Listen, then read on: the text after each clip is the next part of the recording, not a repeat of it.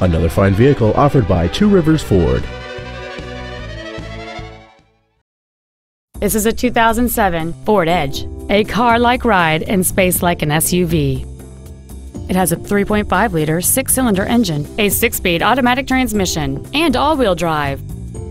Its top features include memory settings for the seat's positions, so you can recall your favorite alignment with the push of one button, a power sunroof, a navigation system, satellite radio, leather seats, alloy wheels, front fog lights, a low tire pressure indicator, a power passenger seat, and this vehicle has fewer than 25,000 miles on the odometer.